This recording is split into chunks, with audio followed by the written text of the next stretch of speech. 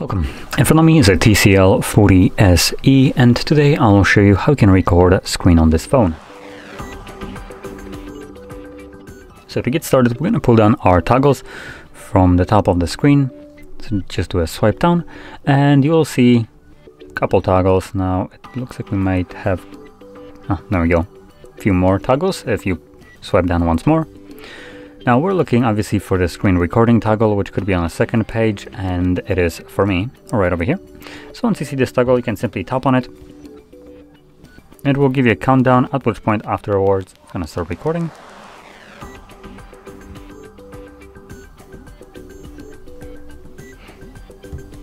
And once you're done, you can tap on the square there to stop the recording, which will get automatically saved to your gallery application.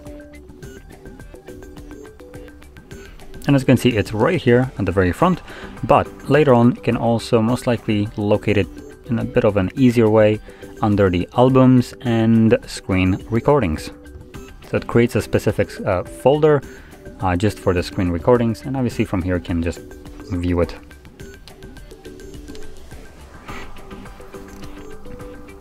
Now it does automatically also enable microphone, so it will be picking up any kind of voice any, anyway, if you found this video helpful, don't forget to hit like, subscribe, and thanks for watching.